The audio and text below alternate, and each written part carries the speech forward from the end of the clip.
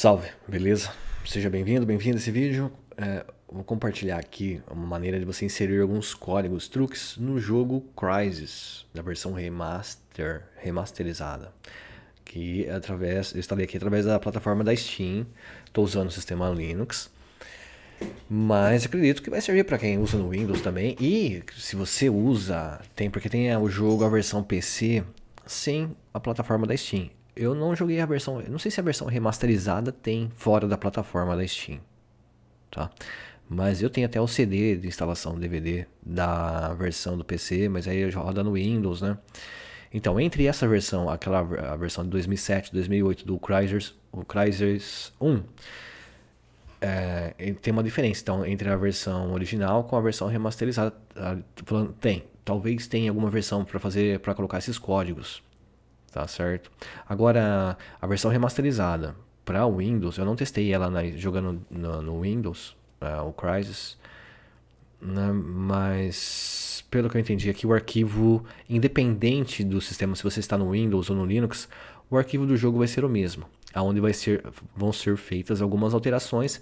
O que, que eu vou adicionar aqui? Tem diversos códigos para se adicionar.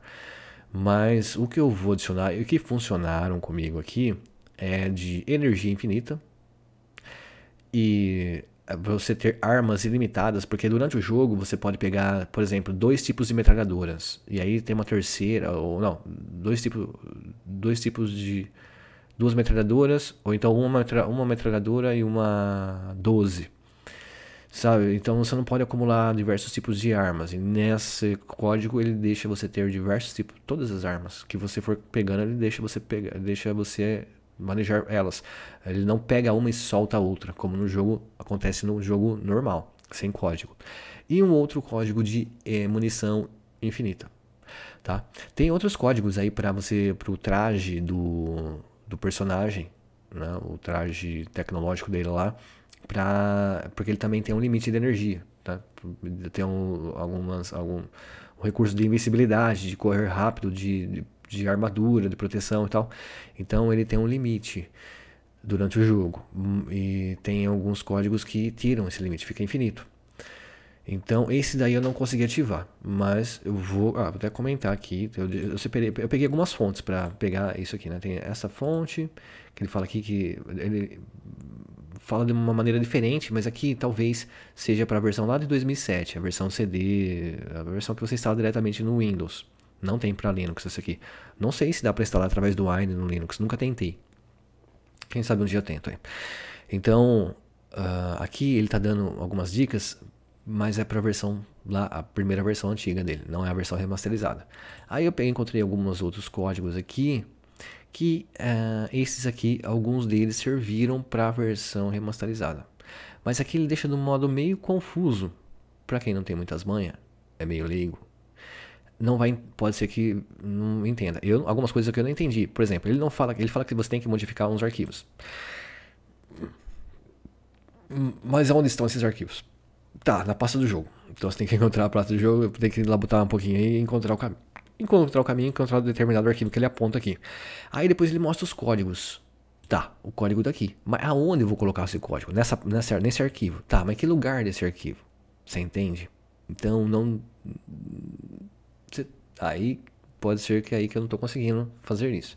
Então, mas só que alguns códigos aqui pode ser que sejam para a versão lá de 2007. Não, não funciona na, no, no remaster, na versão remasterizada.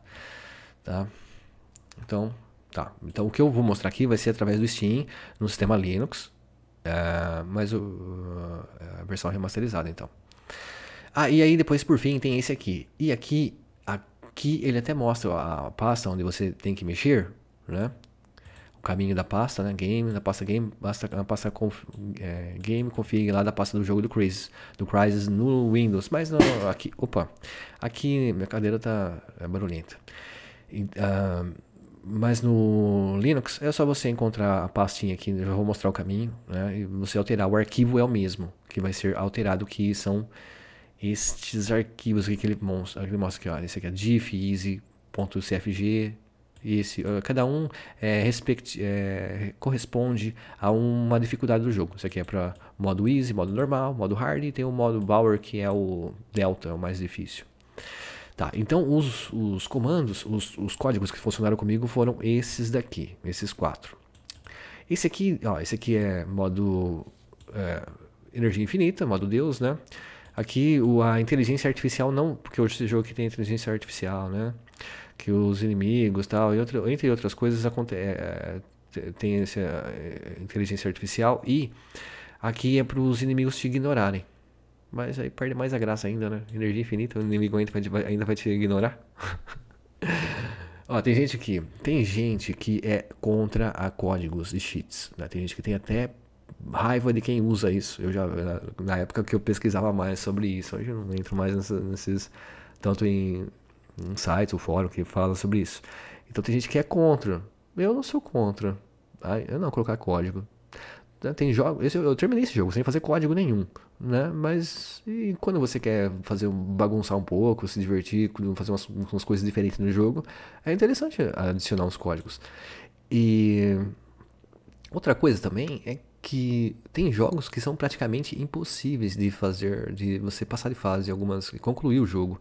Então, quando você encontra um código, aí você pelo menos pode matar, matar a curiosidade de passar de fases, e algumas fases que você não conseguia, e zerar o jogo, né? mesmo que seja através de um código. Mas ó, o código pode aumentar a diversão, mas também pode retirar a diversão. Depende do jogo, depende da pessoa, ponto de vista, né? Então não tem nada contra não, e quem tem contra, tudo bem, respeito, cada um tem sua, né, sua opinião. Então aqui, esse aqui para a inteligência artificial, não, os, os, inimigos não te perceberem. Aqui é sem limite, é, é munição infinita. E aqui, aqui é para você não, munição infinita de baixo. Esse aqui é para você ter todas as conseguir uh, ter todas as armas conforme mas você não vai quando você adiciona esse código você não vai estar com todas as armas. Mas no decorrer do jogo quando você for pegando elas elas vão ficar todas com você você não perde mais. E você não precisa soltar uma para pegar outra. Pelo que eu entendi é isso. Eu não, eu não joguei tanto ainda com, com, com o código para ver se é isso mesmo. Mas pelo que eu entendi é isso. Sem limite de de ter de armas que você pode ter com você e depois, aqui que eu não consegui entender. Né? Você também pode modificar seu sweet states, uh, seu status, o, o status da sua armadura. Então aqui você vai adicionar o alterar. Eita, alterar aqui. Eu, olha só, eu coloco aqui, olha. Eu clico aqui ele sobe. Ah, agora parou de subir. Ah, preciso colocar um código no meu mouse aqui. e aqui também, né? Aqui, aqui eu acho que é mais importante aqui. Já tá aí, né? Já tem uns chips aí que estão chegando, né? Vamos lá. Então, eu não, eu não confio muito nesses chips, né? Mas tem, já tem já, né? Então, aqui, esses aqui, eu não sei se é para adicionar ou se é para fazer alteração neles. Eu não tentei, eu já tentei, na verdade eu tentei adicionar eles, mas aparentemente não funcionaram. Mas na verdade aqui ele não fala para adicionar, aqui você pode ó, modificar ou modificar. Olha, eu só fazer um teste. Vamos adicionar tudo aqui. Vou fazer um teste já. Vou, esses daqui eu sei que funcionam, né? E, e ele fala para você, aqui ó, é, depois de fazer todas as suas edições, salve o arquivo e joga o jogo. Então, vamos lá. Vou fazer aqui. Vou, vou, vou usar este, este uh, os, os códigos que estão nesse, nesse site aqui. Uh, vou entrar na pastinha do jogo. Então, como eu falei, eu estou usando a versão aqui da Steam. Tá? Tem, cadê a minha Steam? Tá aberta aqui? Aqui na Steam, Library. Aqui, ó, tem o Crisis Remastered, tem o 1, o 2 e o 3. Já vem, eu, eu comprei um pack que vinha os três, estava em promoção, peguei os três aqui, né? Um, tem o Crisis, o Crisis uh, Warhead também, que seria uh, uma uma, uma versão paralela do Crisis 1. A mesma história, só que é com outro personagem. também recomendo, mas, então, mas não veio junto com esse pack. Infelizmente, tem que comprar separado.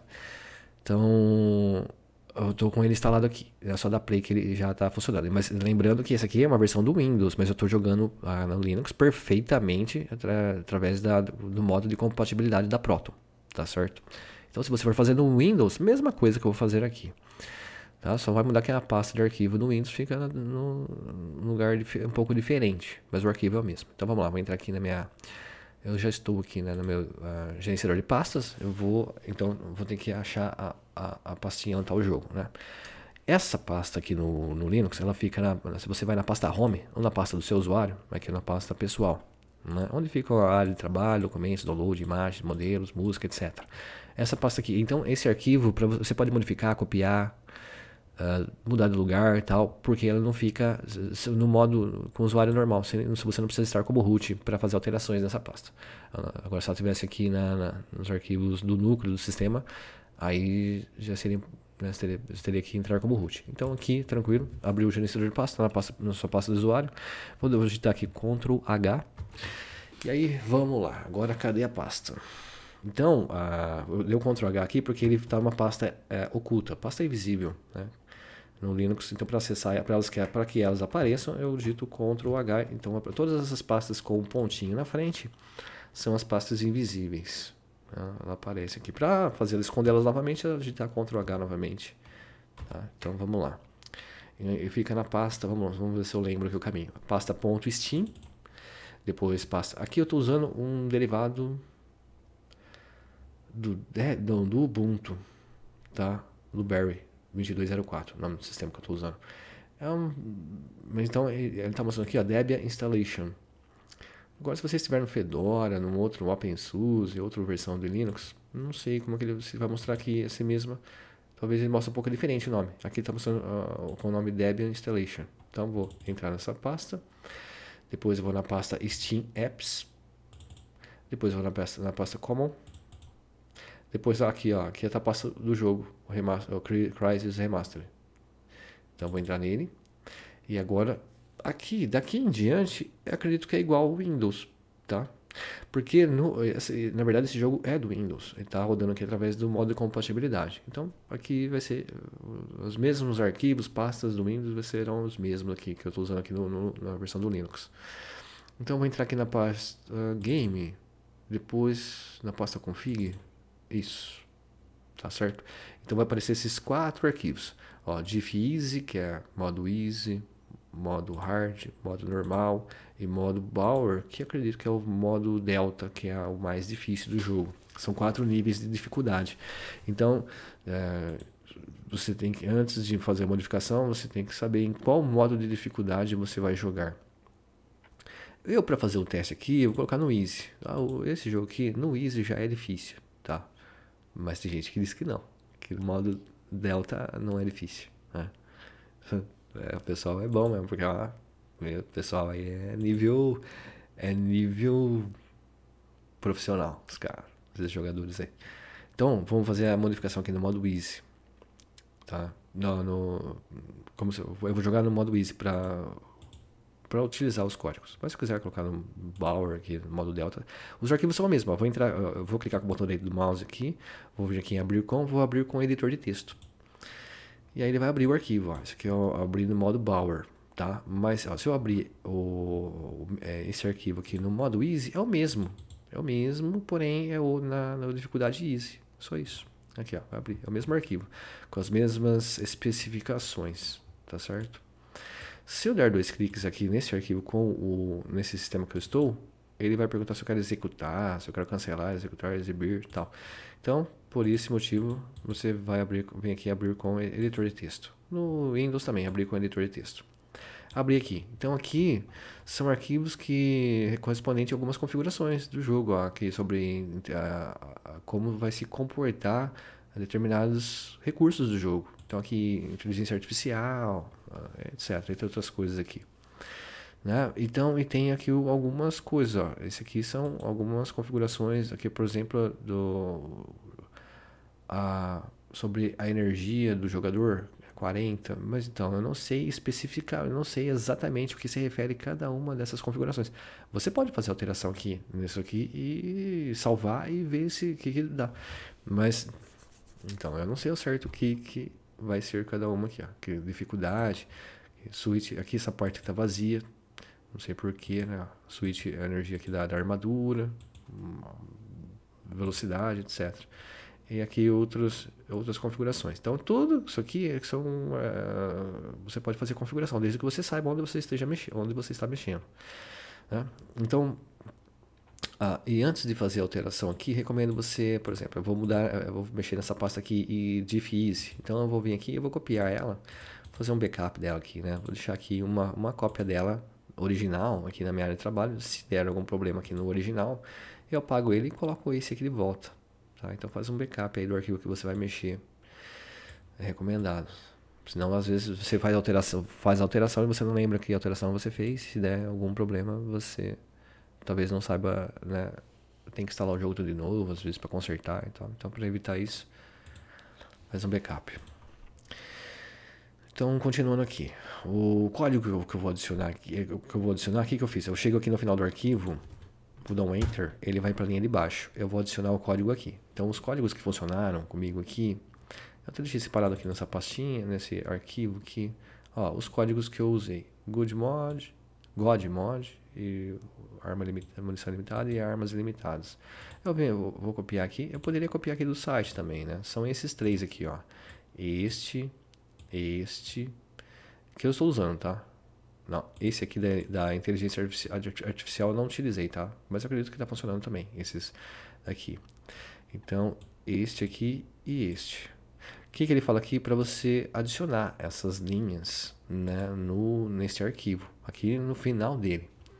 Então, vou copiar ele aqui, eu já tenho aqui ele separado, tudo organizado. Já vou copiar esses três aqui. Copiar. E eu venho aqui para o arquivo e olha, aqui na última linha, vou dar um Ctrl V e colei. Tá aí. Né? Esses três aqui. Se eu agora fechar e salvar e ir lá pro jogo, os códigos estarão ativos, tá? Então, tá certo. Agora, esses outros aqui, que ele fala que posso modificar a armadura, poxa, eu acho que não estão funcionando, mas em todo caso, vamos fazer um teste aqui. Eu vou copiar todos eles, né? e vou colocar, acrescentar aqui. Vamos ver se eles vão ter algum efeito durante o jogo. Adicionei todos. Aí, tá certinho. Adicionei aqui embaixo. Então, eu não sei se isso aqui é para adicionar ou se é para fazer alteração. Porque tem alguns arquivos desses aqui que tem algum deles, alguns deles tem aqui. Ó, esse G player lá, não sei o que tem. Eh, tem aqui, só que tá com uma modificação. É, modificaram o número aqui. Acho que colocaram zero. Ó, esse aqui, ó, tá 400. Aqui eu acho que é o mesmo, né? Ah, não, esse aqui é outro. Então, tem vários aqui. Enfim, eu adicionei aqui embaixo.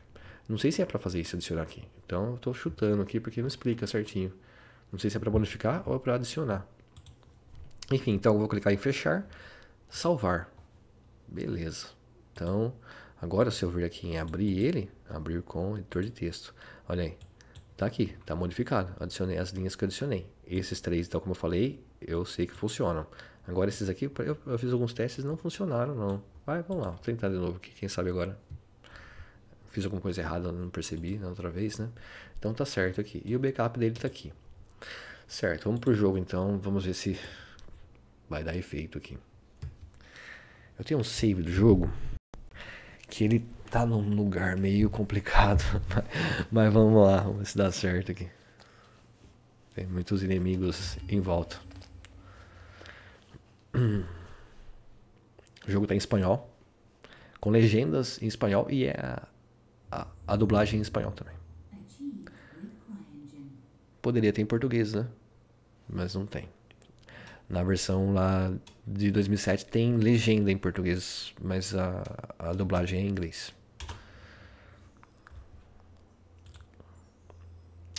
Continuar. Vamos pegar, vou pegar um save aqui.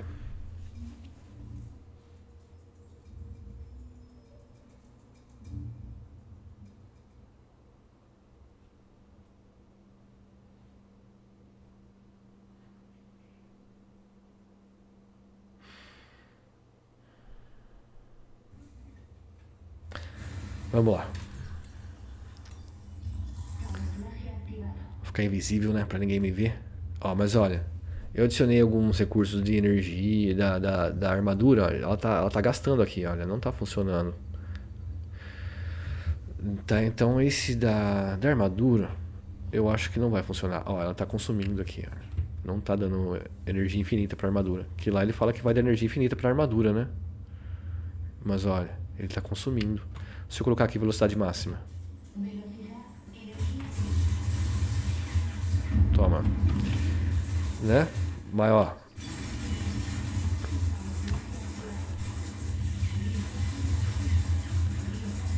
Nossa, tô no meio do vulco vulco aqui.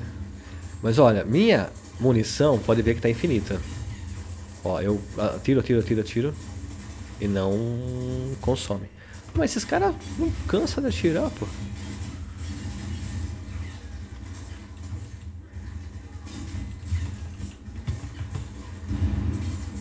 Certo, então energia infinita, as armas que eu tenho aqui. Tem um monte de arma aqui. Tem uma 12 metralhadora.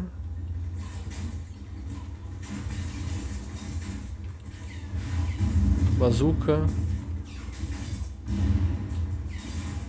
É. E é isso, tá funcionando aqui, tá? Nossa, que barulho de tiro pra todo lado aqui, né? Então, funcionando. Agora, os outros códigos não sei dizer.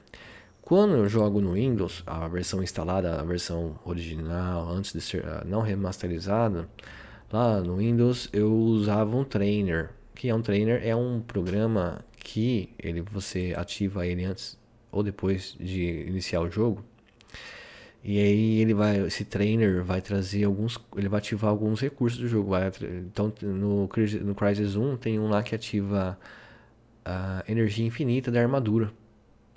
Né? Entre outros recursos, energia infinita do, do, do, personagem, tem munição infinita, tem um monte de coisa lá. E lá, só que é, esse trainer é um programinha, é um programinha, é um executável. Então ele funciona no Windows. Poderia testar aqui, mas eu no, como eu estou no Linux, não sei se através do Wine eu executasse esse trainer e ele ia funcionar. E outra também, eu estou na plataforma da Steam e é diferente, não sei se ele ia reconhecer, né? Então aquilo lá acho que é, é específico para Windows mesmo, aqueles trainers, né? Tem para diversos jogos. Tem que tomar cuidado com os trainers, que alguns são vírus, né? Então cuidado aí nesse lance. Então tem essa maneira, ou então né, lá no Windows também, né, além de você ir diretamente na, na pasta, no arquivo do jogo e fazer alteração diretamente no código do jogo. Então são essas maneiras aqui. Certo, eu acredito que deu, ficou claro aí, né, para fazer essas alterações. Eu fiz no modo isso, mas você pode fazer no hard, normal tal. Fez a alteração aqui, começou o jogo, não importa, não importa se você está no save, está no começo do jogo, ele já vai aplicar, desde que você esteja na, uh, no grau de dificuldade que você alterou, jogando nele. Valeu? Então, até uma próxima. Tchau, tchau.